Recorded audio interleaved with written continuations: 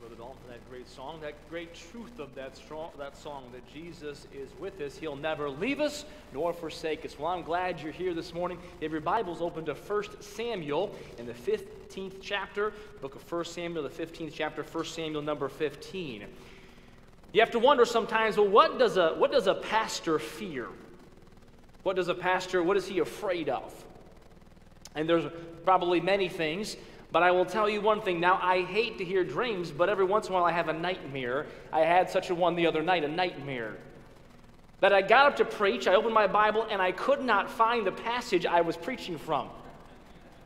Now, you in your seats, if you can't find it, you don't worry that much. I'll probably give the verses. But for a pastor, if I can't find it in the Bible, in fact, I, in my dream, I was all over the place, could not find this passage, and I had to stop the service while I figured out where this was. All right? Thankfully, I have this marked. So this morning I'm right there. Don't worry, I have the Bible right in front of me and in my notes. So never fear, we're all set for today. But I'm glad you're here this morning. What a tremendous turnout for church.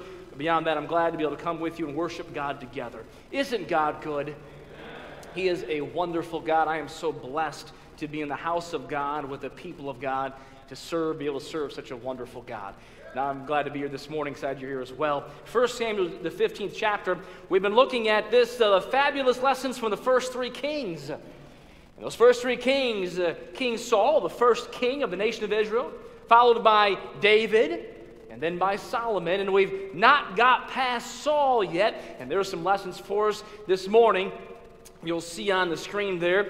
The lesson from this morning is obedience, or what's the big deal?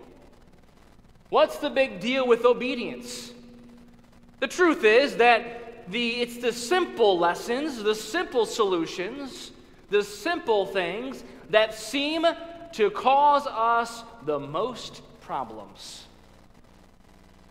I love to study the Word of God. I'm thankful for the inspired Word of God and, the, and, the, and all the truths that are held in it. I'm reading through it and read through it a number of times each year. And every day that I read it, every time I read through it, I learn brand new things that I'd never read before. It, the Word of God is alive and powerful, the Bible says, and, and it just helps in everyday life. But it's not always the big truths that I struggle with in my life, it's the little truths, the simple truths. There is uh, this particular concept out in society called Occam's razor. Maybe you're familiar with this concept, this theory. The theory goes like this that often the simplest explanation, the simplest solution, is usually the right one. Let me paint a few scenarios for you. For instance, you walk out after church and you see that you have a flat tire on your vehicle in the church parking lot. The simple solution is most likely on the way to church, you ran over a nail. Simple solution, usually the right solution. But where do our minds go? No, no, no. No, what actually happened was that someone during church was upset with where I parked and they slashed my tire. The church tire slasher.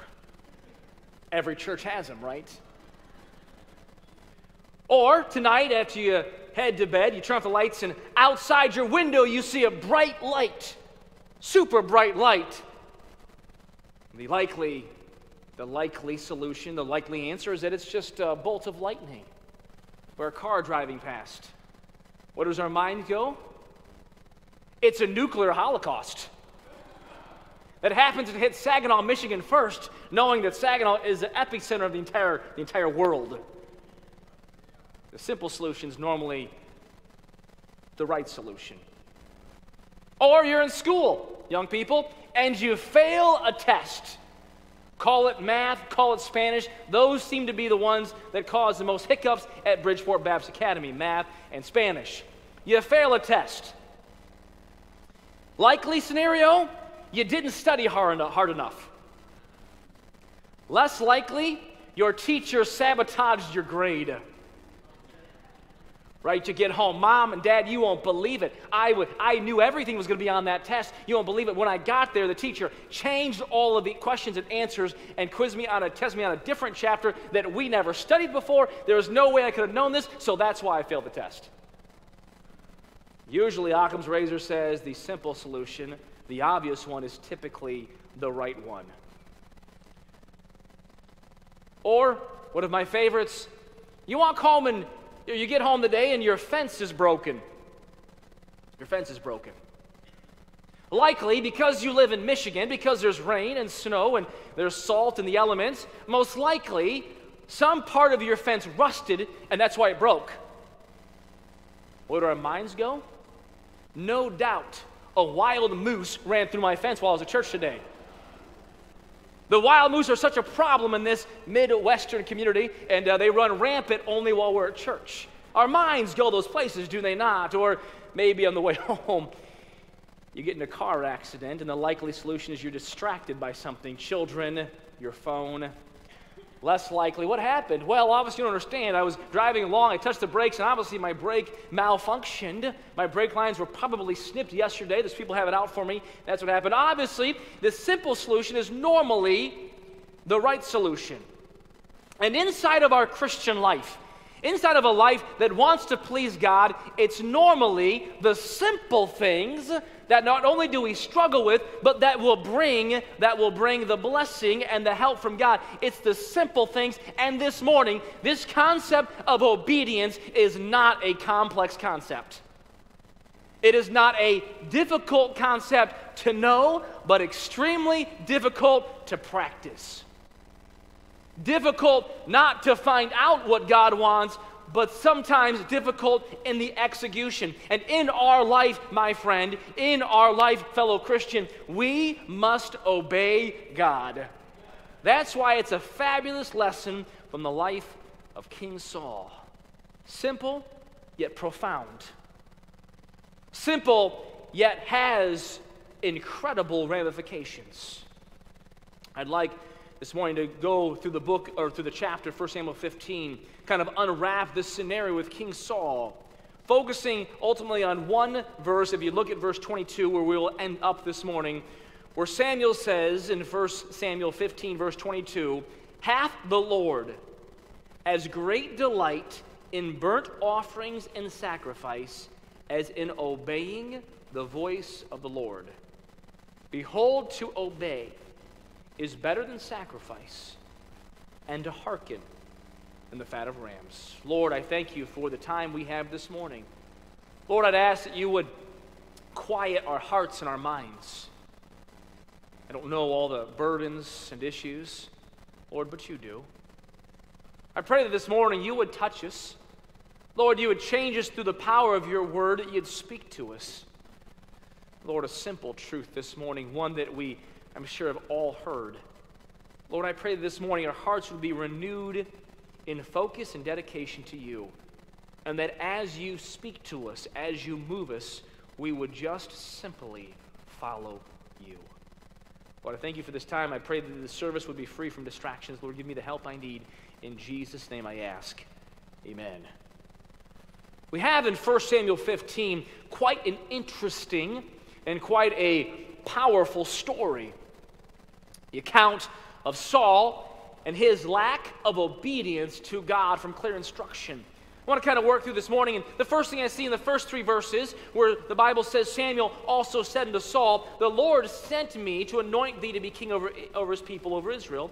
Now, therefore, hearken unto the voice of the words of the Lord. And first of all, I want to point your attention to somewhat of an explanation. There was a reminder about God's calling. Uh, Samuel has come to Saul, and he said, Listen, Saul, you've now been king for a little bit of time, you've now reigned a little bit. I want to remind you that God it caused you to be king. God, the Bible says, puts people in different places. God has a calling for us. We looked at that when God called Saul. God wants to use everyone, and God can use anyone. And Samuel here, the prophet, comes to King Saul, and he says, I want to remind you about God's calling. God called you to lead. And my friend, no matter how old or how young you are, you are called by God to lead others back to God. Whether you're 50 Five or 5, you're called to lead others back to God. Whether you're a father or a mother, whether you're single, whether you have uh, co-workers or whether you work in your own business, you are called to bring others toward God. You're called to lead. And I see a reminder about the calling of God, but I see instruction about God's charge as well. Samuel says, Listen to, to, King Saul, you need to hearken, you need to listen, you need to take heed to what God is telling you to do. That word hearken does not just have the idea that you would just listen to it, but that you would listen and act upon it. I think the best and clearest example would be the way you parents instruct your children. When you say, Now listen, go clean your room. You do not mean just to listen about cleaning the room. You mean for them to listen and to clean the room, act upon it, right? If you call one of your children, hey, uh, uh, uh, listen up. I want them to listen and to do something about it. And when God speaks to us, the point is never just to hear it, but to do it. And Samuel says, King Saul, you need to hearken to what God is saying. You see, we can sit in church and we can be great listeners. Wow, Pastor, that was greater. Wow, Pastor, that was boring, whatever it may be.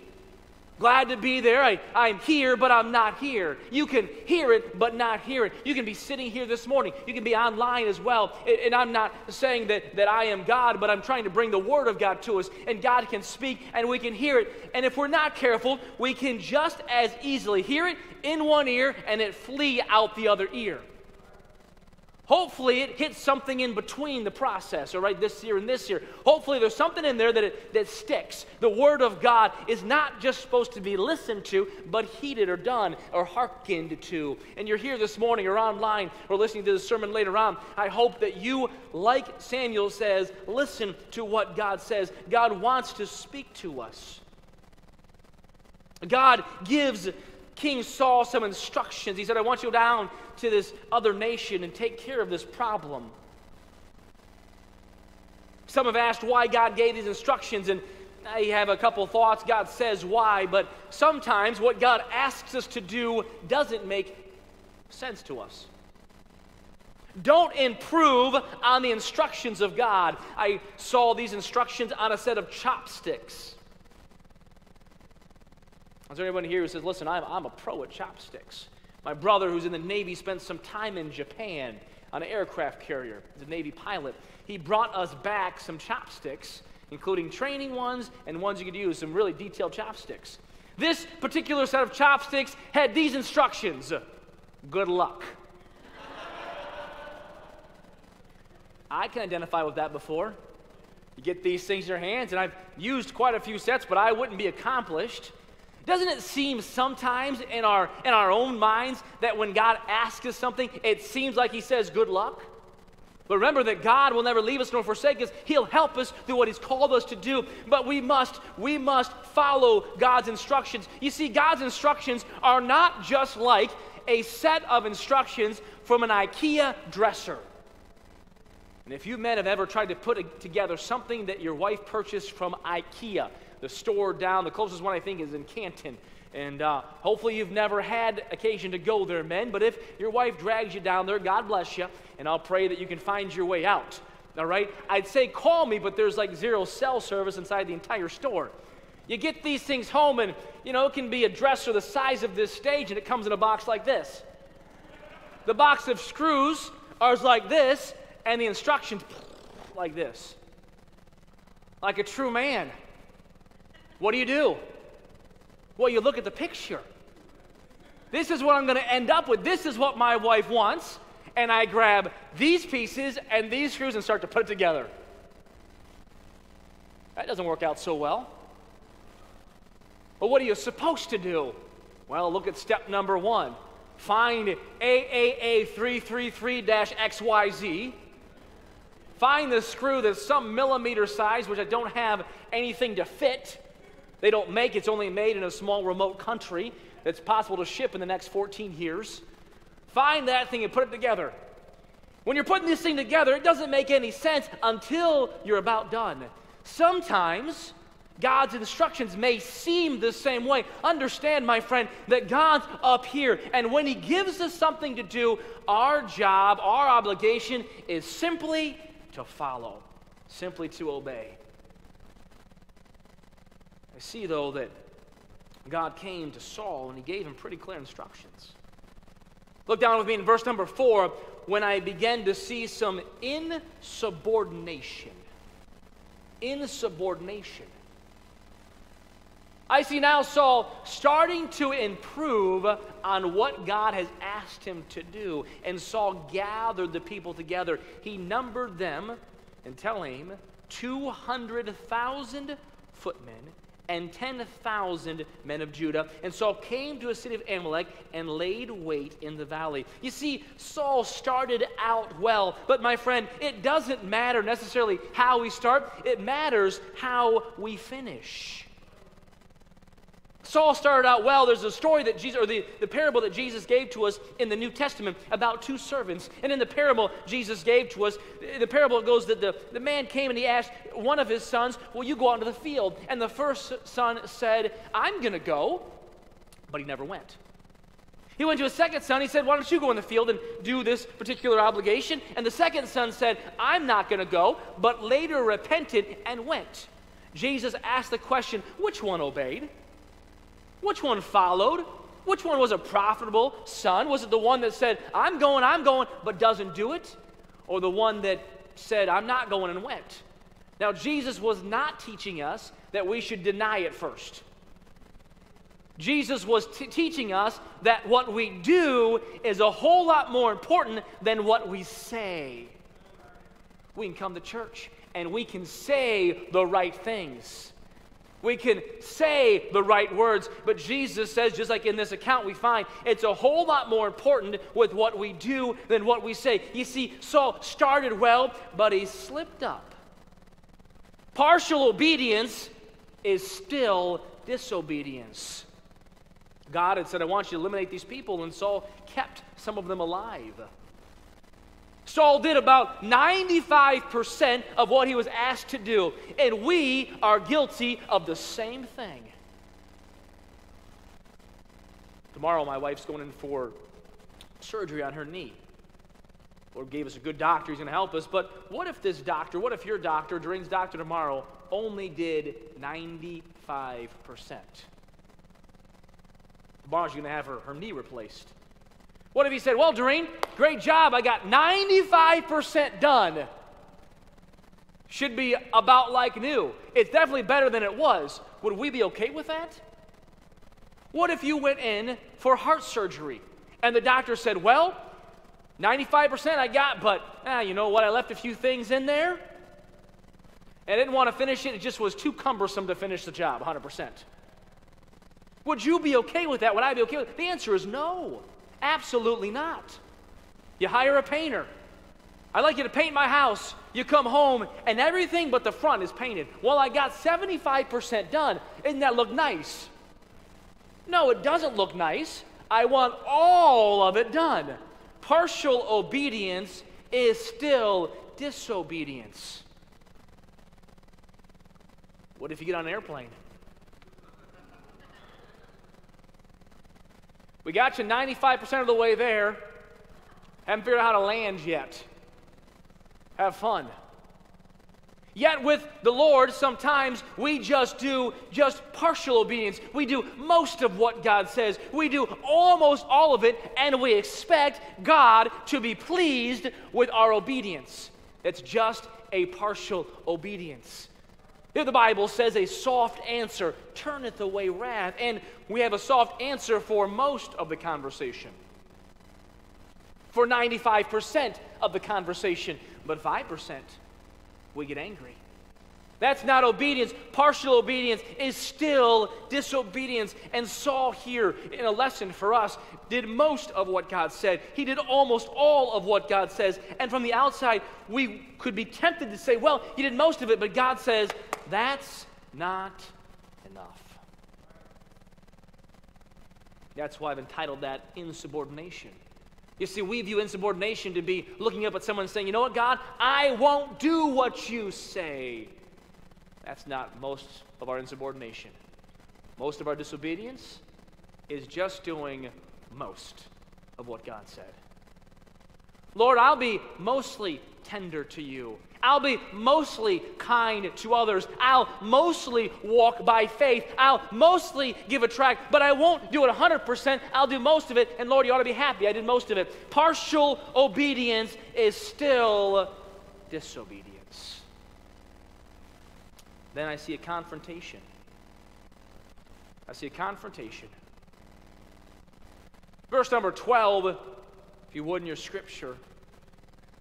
When Samuel Samuel rose early to meet Saul in the morning. It was told Samuel, saying, Saul came to Carmel, and behold, he set him up a place and has gone about and passed on and gone down to Gilgal. And Samuel came to Saul, and Saul said unto him, Blessed be thou of the Lord. I have performed the commandment of the Lord.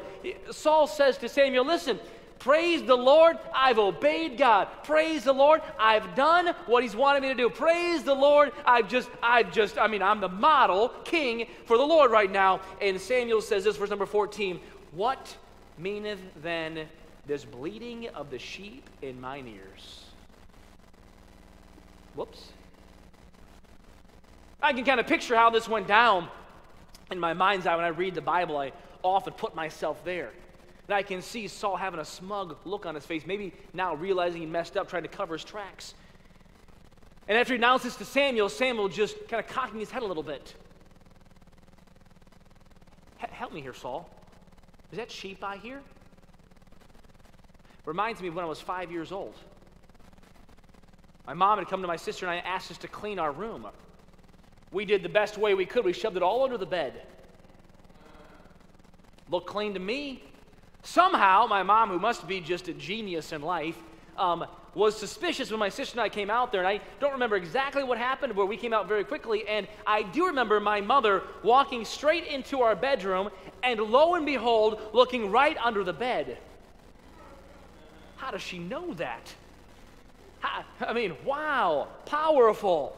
I mean, definitely just the word of the Lord in her ear, or maybe she just knew human nature a little bit. The Bible says, my friend, be sure your sin will find you out. Uh, it's not a threat in our life, it's not a threat of guilt, it is just reality.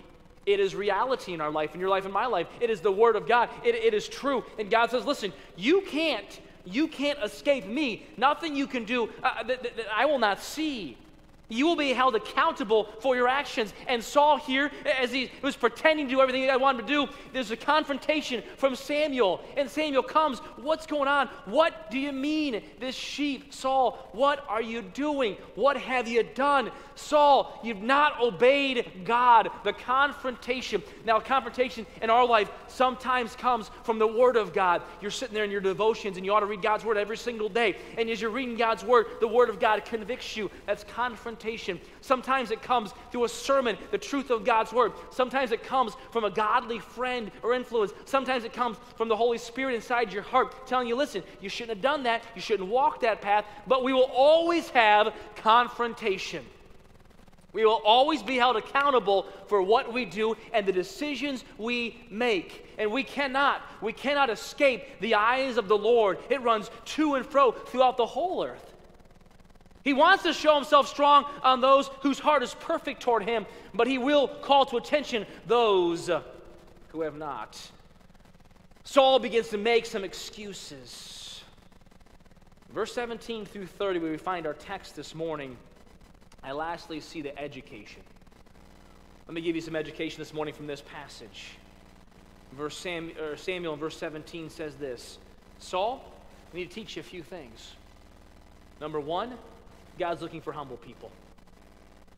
Verse 17, when thou wast little in thine own sight, when thou wast little in thine own sight. God is still looking for humble people. When Saul was called to be king and the people were looking for him, he hid among the baggage, he hid among the supplies. He was so embarrassed. Now, he's put himself up and said, You know what? I know better than God. Pride comes in when we begin to change what God has asked us to do. We ought to be humble in the sight of God. We ought to be little in our sight so that we can be great in His sight. God is still looking. God is still looking for humble people, for humble servants, for those who will say, God, whatever you want, I'll do it. It may seem like a menial task, but God, if you ask me to do it, if you speak to me, I'll follow you. God is still looking for humble people. Number two, God is looking for obedient people. Wherefore then didst thou not obey the voice of the Lord. Saul, why? Why didn't you do it? Why didn't you just do what God asked you to do? Why didn't you just obey God? God is looking for humble people. God is looking for obedient people. And then Samuel says this, our verse 22 God cares more about you doing what he says than what you think you should do. Samuel tells us in verse 22, he says, God cares more about your actions, your obedience, than he does this sacrifice.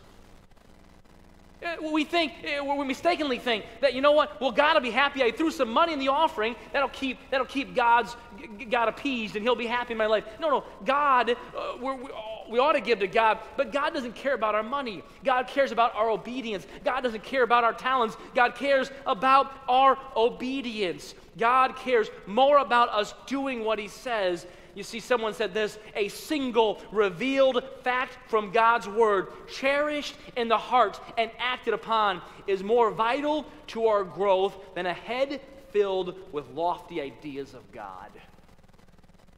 It's a simple solution. Simple solution. Just obey God. And lastly, this morning as we finish up, not obeying God is a big deal to God. Look at verse 23 where the Bible makes a profound, almost breathtaking statement.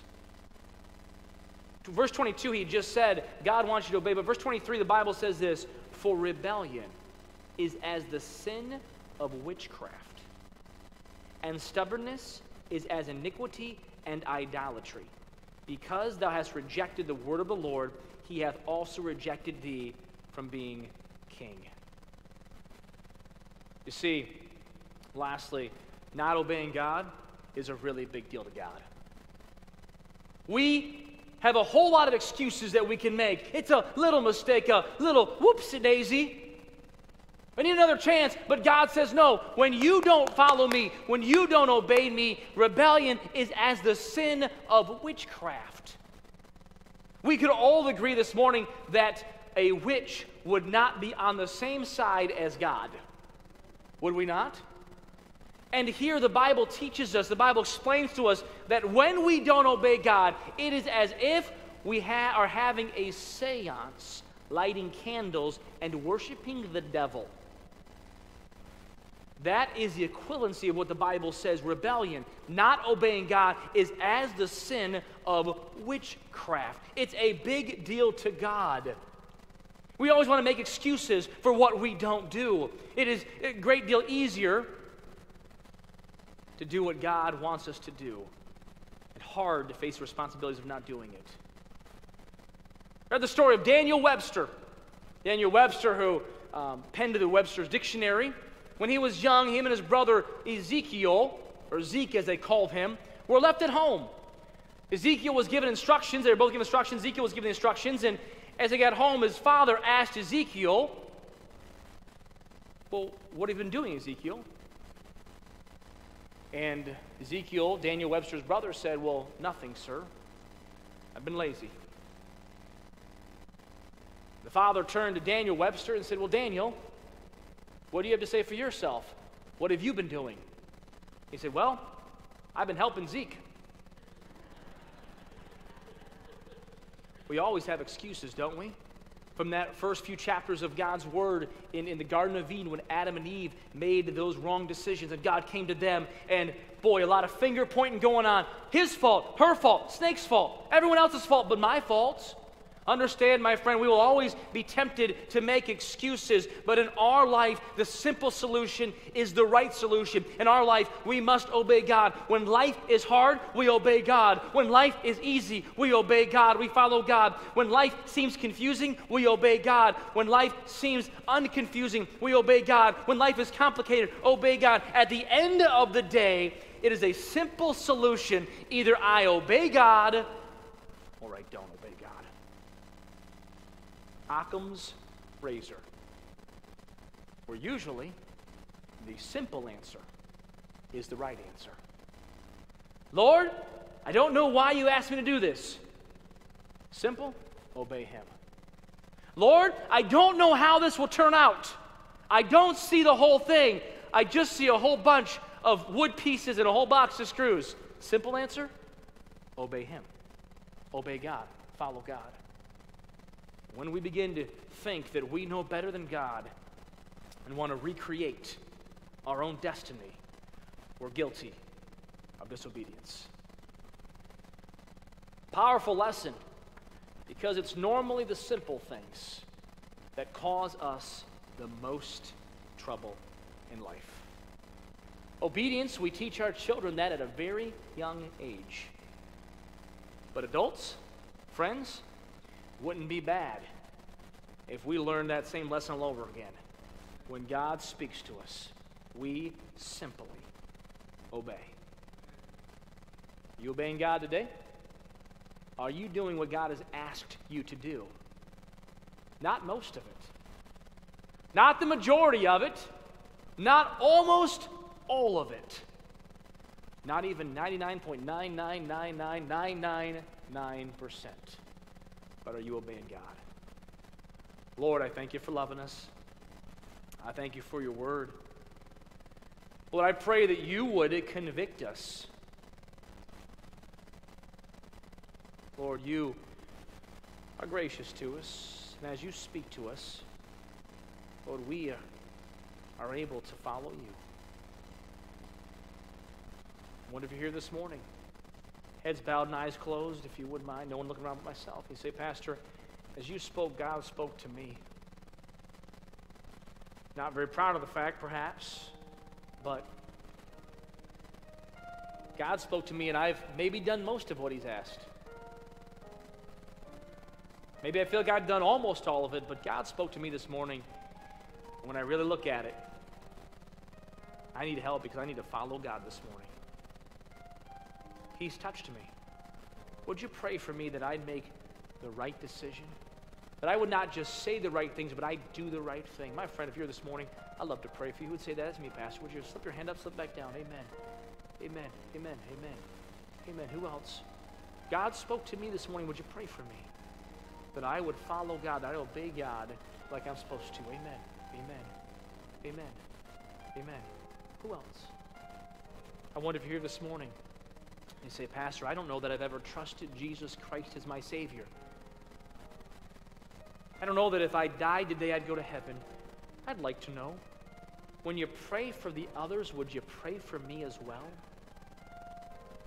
My friend, I'd love to have someone open a Bible and show you how you can know for sure that God loves you and Jesus died on the cross to pay for your sins. Maybe you're here this morning, you don't know that if you die today, you'd go to heaven. Would you do me a favor? Would you mind slipping your hand up and I'll see that? I will not call any more attention to you than I did to anyone else. I'm the only one looking around, but would you say, Pastor, I'm not sure I'm on my way to heaven. I'd like to be sure. Would you pray for me when you pray for the others? That's you this morning. Would you slip your hand up, slip back down? I'll see it. I'll acknowledge it. Who's here this morning?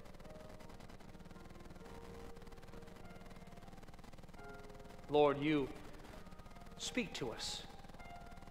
Lord, you instruct us. May we follow you.